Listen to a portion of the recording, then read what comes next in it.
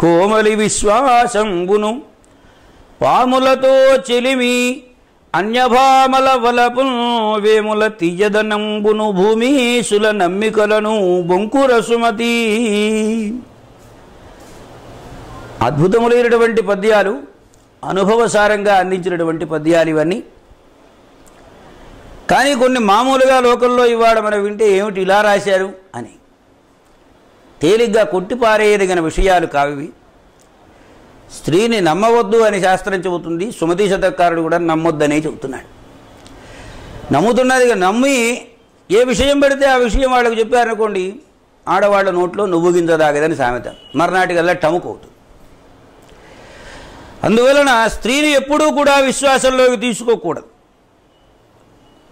అలాగే పాములతో ఎప్పుడూ స్నేహం చేయకూడదు. పామే కదా బాగా ఉందని చెప్పి ముద్దు పెట్టుకుంటే కాటేస్తుంది. పాములతో స్నేహము పనికిరాదు. అలాగని భార్య ఎందు ప్రేమ ఉండొచ్చు కానీ ఇతర స్త్రీల ఎందు వ్యామోహాన్ని కనుక పెంచుకుంటే అది కూడా ప్రమాదమే.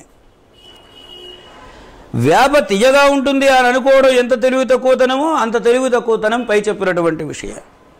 ఎప్పుడూ చేదుగానే ఉంటుంది తప్ప వేప తీయగా ఉండదు. అలాగే ప్రభువులైనటువంటి వారు మేము అచ్చేస్తాం ఇచ్చేస్తాం ఎన్నెన్నో వాగ్దానాలు చేస్తారు. ఇక్కడ వాగ్దానాలే మిగులుతాయి కానీ యథార్థాలు ఏమి మిగలవురా అబ్బాయి. వాళ్ళ మాటలు కూడా ఎప్పుడూ నమ్మబోకు. అవన్నీ అబద్ధాలే అన్నారు. కోమలి విశ్వాసంబును పాములతో చెలిమి అన్యభామల వలపును వేముల తీయదనంబును భూమీసుల నమ్మికలును బొంకుర సుమతి ఆదివరాఘడువై నీవా నేతృహతు నిజేసి తగన్.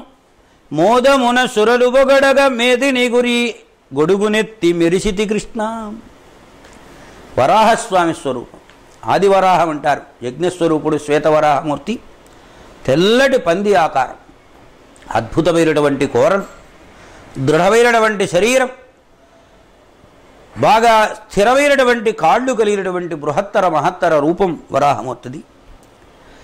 ఆదివరాఘుడవయి నీవా తనుజ హిరణ్యనేతృహతు నిజేసి హిరణ్యాక్షుడు అంటారు హిరణ్యనేత్రుడు అంటే అతడు ఒకప్పుడు ఈ భూమినంతటినీ కూడా చాప చుట్టలాగా చేసేసి నీళ్ళలో ముంచేసాడు అంటే భూమికి మహాపకారం చేసి భూస్వామిత్వాన్ని సంపాదించుకోవాలని తన కోరికను అంటే భూమినంతటినీ తన అడుగున పడేసి దాని మీద తాను పెత్తనం చేయాలని ఒక మాటలో చెప్పాలంటే మొట్టమొదటి భూకబ్జాదారుడు ఎవరంటే హిరణ్యాక్షుడు.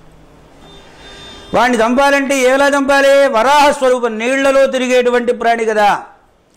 జల స్థిర జల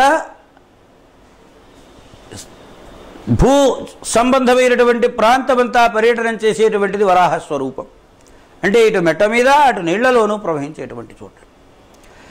ఆ హిరణ్యాక్షుణ్ణి అలా నాడు సంహారం చేసి దేవతలందరూ కూడా అనేక విధాలుగా దివ్యమైన స్తోత్రాలు చేయగా భూమినంతటినీ సముద్ధరణం చేసి నీ కోరలపైన అలా గొడుగులాగా పైకి లేవనెత్తిపెట్టినటువంటి ఓ మహానుభావ ఆదివరాహమూర్తి శ్రీకృష్ణ నీకు నమస్కారం. ఎందుకంటే కృష్ణుడే ఆదివరాహమూర్తి.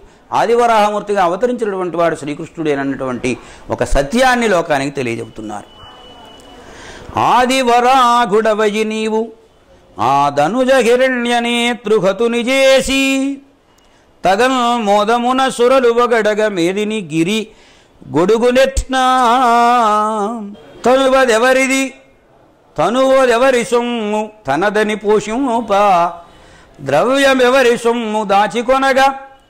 ప్రాణపో ప్రాణమెవరి సొమ్ము? పారిపోవక నిల్వ విశ్వదాభిరామ. వినురవేమా? తనువు అంటే శరీరం. శరీరం ఎవడి సొత్తు? ఎల్లి నేడైన నూరేండ్లకైన జాతశ్చకి ధ్రువో మృత్యుర్ధ్రువం జన్మ మృతస్య చ. తస్మాత్ అపరిహార్యేర్థే నత్వం శోచితుమర్హసి. శ్రీకృష్ణ పరమాత్మ అర్జునునకు చెప్పినటువంటి మాట. తనువు అంటే శరీరం ఎవరి సొమ్మురా? ఏ రోజు రావాలో ఆ రోజు వస్తుంది ఏ రోజు పోవాలో ఆ రోజు పోతుంది. నాది నాది అని పోషించడానికి ఈ శరీరం నీ సొత్తు కాదు. ద్రవ్యం ఎవరి సొమ్ము దాచికొనగా? బాగా డబ్బు సంపాదిస్తావు బీరువాల్లో దాస్తావు బ్యాంకుల్లో దాస్తావు. స్విస్ బ్యాంకుల్లో దాస్తావు ఎంతెంతో సొమ్ము దాస్తావు దాచుకోవడానికి అది నీ సొమ్మా? ఈశావాస్యమిదగుం సర్వం జత్కించ జగత్యాం జగతు తేన త్యక్తేన భుంజీధా మాగృధ కశ్య సిద్ధనం. ఉప ఈశావాస్యోపనిషత్తులో మొట్టమొదటి మంత్రం ఇది.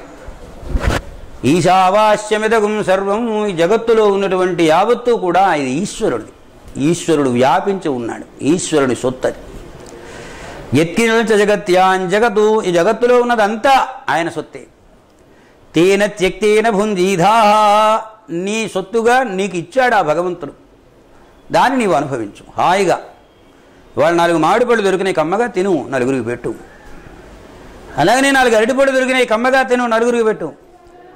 గోవు కండ నిండా పారడిచ్చింది తాగిరని తాగు దానం చేసినని దానం చేసుకో. తేన త్యక్తేన భుంజీధా మాగ్రధ లోభబుద్ధిని చూపబోకు. ఇది దాచిపెడదాం అనుకోబోకు. ఎందుకంటే కశ్యస్విద్ధనం ఎవరిదిరా ఈ సొమ్ము? సొమ్ము అనేది వస్తుంది సొమ్ము అనేది పోతుంది. ఎప్పుడు శాశ్వతంగా స్థిరంగా ఒక ఇంట ఉండేది కాదు. ప్రవహించేటువంటి నది లాంటిది ధనం ఐశ్వర్యం. అంతేకాదు ప్రాణమెవ్వరి సొమ్ము? పారిపోవక నిల్వా చెప్పాంగా ఇందాక వెళ్ళి నేడైనా నూరేండ్లకైనా ఈ రోజు పోవచ్చు రేపు పోవచ్చు ఈ ప్రాణాది శక్తులు ఈ శరీరాన్ని విడిచిపెట్టి ఏ రోజునైనా పారిపోతాయిరా నాయన? శరీరము నీ సొంతం కాదు ద్రవ్యము నీ సొంతం కాదు ప్రాణము నీ సొంతం కాదు. ఉన్నంతకాలము సుఖజీవనం చేయవలసిన అవసరం నీకుంది. అలా చేసుకుని నీ జీవితాన్ని ధన్యం చేసుకొని వెళ్ళిపో అని చెబుతున్నాడు. తనువదెవ్వరి సొమ్ము తనదని పోషింప ద్రవ్యమెవరి సొమ్ము దాచికొనగా ప్రాణమెవరి సొమ్ము పారిపోవక నిల్వ విశ్వదాభిరామ వినురవేమా పెంపునదల్లివై కలుష బృంద సమాగమముందకుండ రక్షింపను తండ్రివై మెయి వసించు దశేంద్రియ రోగముల్ నివారింపను వెజ్జవై. కృప గురించి పరంబు తిరంబుగాగ సత్సంపదలీయ నీవే గతి దాశరథి కరుణాపయోనిధి. తల్లి పెంపకం చాలా అదృష్టవంతులకు లభిస్తుంది. అమితమైనటువంటి ప్రేమాతిశయంతో గుండెకు హత్తుకొని స్తన్యమిచ్చి పెంచుతుంది తల్లి. తన మాంసపు కండరాలను చీల్చుకొని తరలి వచ్చినటువంటి పాలతో పెంచుతుంది తల్లి. పెంచాలంటే పెంచే సమయంలో నీవు తల్లివి. కలుష బృంద సమాగమమందకుండ రక్షింపను తండ్రివై. పాపములనబడేటువంటి సముదాయములు రాకుండగా ఉండేట్లుగా కాపాడేటువంటి రక్షించేటువంటి తండ్రివి. అంటే తల్లి పెంపకము ప్రేమతో ఉంటుంది తండ్రి పెంపకము బాధ్యతతో కూడిన ప్రేమతో ఉంటుంది. అంటే పిల్లవాడు చెడిపోకూడదు. తల్లి అలా అనుకోదు చెడిపోవడం బాగుపడడం అనేది నా చేతుల్లో లేదు. వాడిని పెంచడము వాడి ఎందు ప్రేమ చూపడమే నా బాధ్యత అనుకుంటుంది. కనుక తల్లిదండ్రుల ప్రేమలో కొంచెత్తు కించిత్తు భేదం ఉంది. నీవు తల్లివి పెంపేటప్పుడు తండ్రివి నా పాపములు నా దగ్గరకు చేరగండగా కాపాడేటప్పుడు దశేంద్రియ రోగములు నివారింపను వెజ్జవై. అంతేకాదు మనకు జ్ఞానేంద్రియములు ఐదు కర్మేంద్రియములు ఐదు పది ఇంద్రియాలు ఉన్నాయి జ్ఞానేంద్రియములు అంటే త్వక్కు చక్షు శ్రోత్ర జిహ్వా గ్రహణములు అంటారు ఇవి జ్ఞానేంద్రియములు.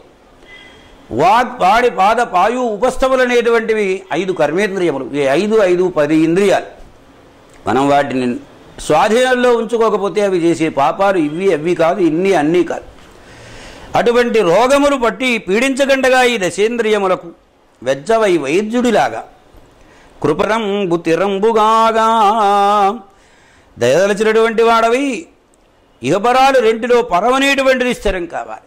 పరమంటే ఉత్తమమైన పుణ్యలోక ప్రాప్తి పరమంటే నరకలోక ప్రాప్తి పరంబు తిరంబు అంటే పరలోకం ఉత్తమమైనటువంటి లోకం ఉండేటట్లుగా. సత్సంపద లీయ విగతి. మంచి సంపదలు ఇవ్వాలంటే నీవే కదయ్యా దారి వేరే దారి ఎవరున్నారు? స్వామి రామచంద్ర ప్రభో. అంటే సత్సంపద అంటే ఏది సద్వినియోగం అవుతుందో ఆ సంపద నిజమైన సంపద దానికి సత్సంపద అని పేరు. కేవలం అనుభవించడం మాత్రం చేతనే సంపదకు సంపత్వం అనేటువంటిది రాదు. దానిని సద్వినియోగం చేస్తే అది సత్సంపద అవుతుంది. దాన ధర్మాదులకు ఉపయోగపడేటువంటి సల్లోక ప్రాప్తికి హేతుభూతమైనటువంటి మంచి సంపదను నాకు ప్రసాదించు స్వామి అని రామచంద్రుణ్ణి ప్రార్థన చేశారు. పెంపున తల్లివై కలుష బృంద సమాగమమందకుండ రక్షింపను తండ్రివై. మెయి వశించు దశేంద్రియ రోగముల్ నివారింపను వెజ్జవై. కృపగురించి పరంబు తిరంబుగాగా సత్సంపదలీయ నివెగతీ దాశరథీ కరుణాపయోనిధి. చంద్రకళావతం సుకృపచాలని వాడు మహాత్ముడైనా. తా సాంద్ర విభూతి బాసి యొక్క జాతి విహీనుని గుల్చియుంట. యోగీంద్రను తాంఘ్రి పద్మమతిహీనతనందుటగాదుగా హరిశ్చంద్రుడు వీరబాగునుని నిజంబుగ కొల్వడే నాడు భాస్కరా. భాస్కర శతకంలో ఉన్నటువంటి విశేషం ఏమిటంటే ఒక చక్కని లౌకికమైనటువంటి నీతిని తెలియజేస్తూ ఒక మహానుభావుని యొక్క దివ్యమైన చరిత్రను ఉదాహరణంగా తీసుకుని మనకు అందిస్తున్నాడు. ఈశ్వరానుగ్రహం ప్రతి మనిషికి అవసరం. ఈశ్వరానుగ్రహం ఉన్నప్పుడు అన్నీ సర్దుబాటు చక్కగా జరిగిపోతూ ఉంటాయి. ఈశ్వరానుగ్రహం చాలలేదనుకోండి ఎంతటి గొప్పవాడైనా తనకున్నటువంటి ఐశ్వర్యం అంతా కూడా కోల్పోతాడు నష్టపడతాడు. దీనికి ఉదాహరణగా చెప్పారు. హరిశ్చంద్రుడు అనేటువంటి మహారాజు ఒకప్పుడు అయోధ్య నగరాన్ని పరిపాలన చేస్తూ తనకున్న సర్వస్వాన్ని పోగొట్టుకున్నాడు. ఈశ్వరానుగ్రహం ఉండడం లేకపోవడం. అదే ఓడలు బండ్లవును బండ్లు ఓడలవును. ఆ తరువాత కాశీనగరానికి చేరి అక్కడ తన భార్యను అమ్ముకొని చివరికి తనను తానే అమ్ముకొని ఒక కాటికాపరి దగ్గర దాస్యం చేశాడు. చాలిన కాలం వస్తే అన్నీ బాగా జరుగుతాయి చాలని కాలం వస్తే అన్నీ కూడా ఇబ్బందులను కలుగజేస్తుంది. ఎంతటి వాడికైనా ఇటువంటి దుస్థితి రావచ్చు వచ్చే అవకాశం ఉంది. ఉన్నప్పుడు నీవు బిడియపడవద్దు నాయన ఎవరినైనా ఆశ్రయించుకొని నీ దారి నువ్వు సుగమం చేసుకో ఈశ్వరానుగ్రహం కోసం ప్రయత్నం చేసుకో. అదే హరిశ్చంద్రులకు చిట్ట చివరిలో ఈశ్వరుడు ప్రత్యక్షమై సత్యవాక్య పరిపాలకుడు ఉన్నటువంటి దృఢమైనటువంటి నామాన్ని ఆయనకు అనుగ్రహించాడు. ఈశ్వరానుగ్రహం ప్రతివారికి చాలా ముఖ్యమైనటువంటి విషయాన్ని ఈ పద్యం ద్వారా మనకు తెలియజేస్తుంది.